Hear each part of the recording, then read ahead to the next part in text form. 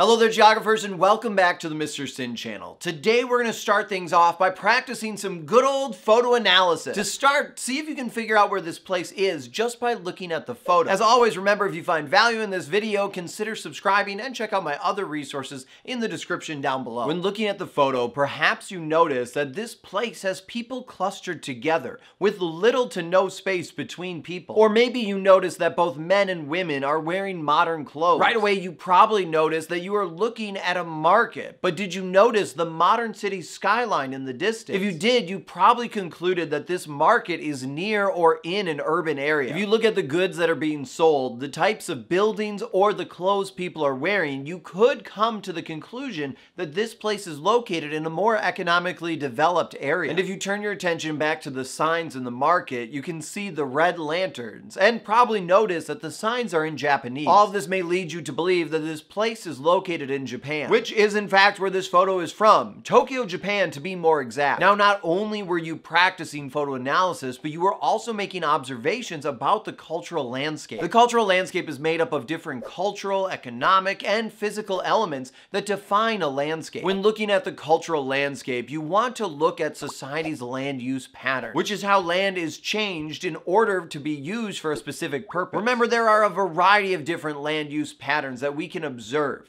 Each land use pattern allows us to better understand what society values. Going back to the cultural landscape, we can see it is also made up of different types of architecture that is present, such as traditional architecture or modern architecture. The different economic opportunities, the different cultural components that can be seen in the landscape, such as the religions or languages that are present, the physical features of an area, or any evidence of sequent occupancy, which is how cultures over time have impacted a geographic location. Essentially, throughout history, how have people left their mark on a geographic area? Sequent occupancy helps create a unique cultural landscape and a unique sense of place. Now, in talking about the cultural landscape, I mentioned traditional and modern architecture. Traditional architecture uses resources from the local area and incorporates the local culture and resources of the area. Modern architecture, on the other hand, focuses on function over design and does not incorporate the local culture into the design. One other type of architecture that you might hear about is postmodern modern architecture, which is a style of architecture that strives to create a unique look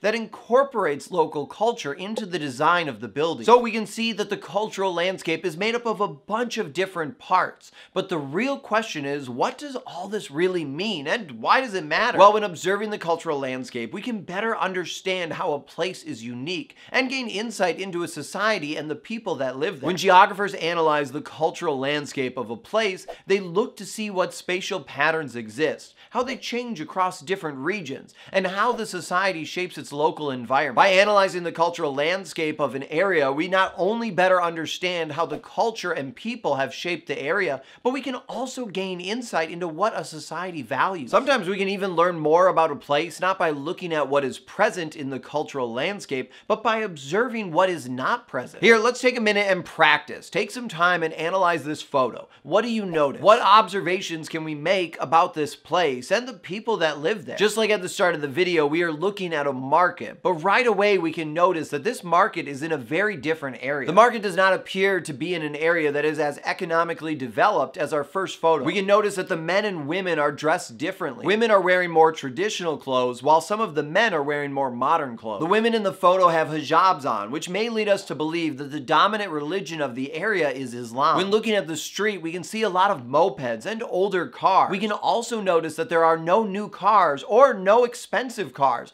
which may point to the area has less access to wealth. We can also notice the signs on the building and the writing on the cars show that English is not the primary language of this area. If we turn our attention back to the market, we notice a variety of umbrellas and palm tree leaves on the roof, which indicate this area is located in a warmer climate. When looking at the market, we can also see that the people selling the food at the market are women and children, which may indicate that the society has more traditional gender roles, with women and children participating more in jobs that are related to agriculture. Speaking of the food, we could look at the fish and notice that they're not being sold in freezers and do not have anything to keep them cool, which may indicate that the area does not have much access to wealth. This photo is actually from a market in Indonesia. Now, one thing to remember when trying to analyze the cultural landscape through photo analysis is we are only seeing part of a society. Our view is limited, so it's important to remember remember that when we are making inferences about a society, they're just that, inferences. To fully understand a culture and a place, we will have to do more research and get more information to truly understand the people that live there. And just like that, another topic review video is done. Now comes the time to practice.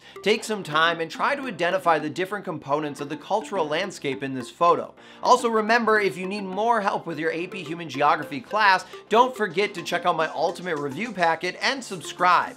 The packet has everything you need to get an A in your class and a 5 on that national exam. As always, I'm Mr. Sinn. Thank you so much for watching, and I'll see you next time online.